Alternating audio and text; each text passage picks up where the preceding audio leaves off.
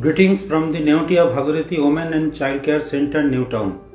I am Dr. Sankar Das Mahapatra, consultant gynecologist and laparoscopic surgeon practicing in Kolkata for last 30 years. Today I am going to discuss about a very important topics about women that is fibroid uterus. What is fibroid? Fibroid is the benign non-cancerous tumor of the uterus. It occurs in the reproductive age group. What are the incidence of fibroid? Fibroid is usually present in 20 to 30 percent cases in reproductive age group in India. What are the signs and symptoms of fibroid? Usually patient presents with excessive bleeding during menstruation and especially and pain during the menstruation. This is these are the most common symptoms that presents with the fibroid to our office. And second is the mass in the abdomen. When we palpate the abdomen, we find in the mass in the abdomen. And third, when the fibroid is present in the anterior part of the uterus, patient presents with increased frequency of micturition. And when present in the posterior part of the uterus, it presents with constipation and abdominal bloating and heaviness.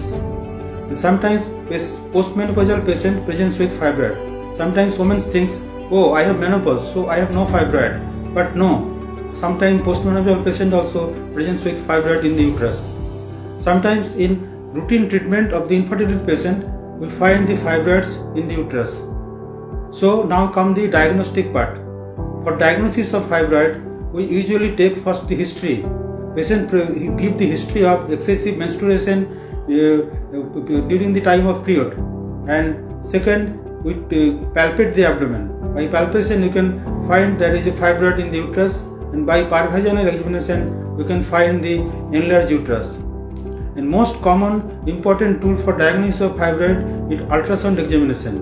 By ultrasonography we find the position of the fibroid, number of the fibroid and if it is not sufficient then we do the MRI scan. By MRI scan we do the mapping of the fibroids and by MRI scan we can differentiate between the fibroid and the adenomyosis. And is the most important in case of infertility patient. Because infertility patient you can only do the myomectomy not hysterectomy and what is the common modalities of treatment of fibroid?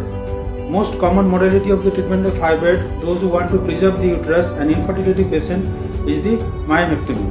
Laparoscopy is the only method of choice to, to, to, the, do the myomectomy. And in case of those who complete the family we go for hysterectomy and especially that is the laparoscopic hysterectomy. If the fibroid is present in the submucous that is inside the uterine cavity then you do hysteroscopic myomectomy. Uh, other modalities are there. One is uterine artery embolization. We embolize the uterine artery so that fibroid will not grow. And what is the so now we discuss some special issues. What is the uh, part of infertility. In infertility patient, uh, some patient with fibroid may present with infertility. Patients with submucous fibroid cause uh, recurrent abortion and patient with intramural fibroid cause implantation failure. So infertility is the one of the uh, cause of fibroid. Uh, this, and then there is pregnancy part. And in pregnancy, sometimes patient presents with during time of pregnancy, patient presents with fibroid. In fibroid with pregnancy, there is chance of premature delivery and recurrent abortion and then pain in the Uh, abdomen due, to red degeneration of the fibroid. Sometimes there is difficulty in delivering of the baby if is fibroid position is in cervical part. If the fibroid is the very big size, it may cause red degeneration. And sometimes if the fibroid present in the lower segment of the uterus, there is difficulty during the time of cesarean section. If fibroid, if patient is obese, then what will happen? If the patient is obese, then there is increased chance of fibroid. We already discussed that fibroid is the estrogen dependent tumor. If the excess estrogen produced in the fat cells, that will uh, stimulate the growth of the fibroid. So during the discussion of the fibroid uterus, we have to uh, uh, memorize something or take home message is that in fibroid is a non-cancerous condition. So don't hurry for any surgery.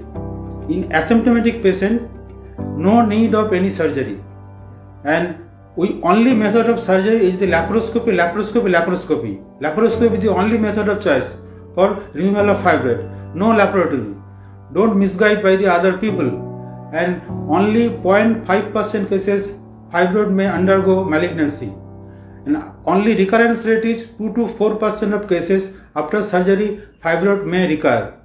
Thank you.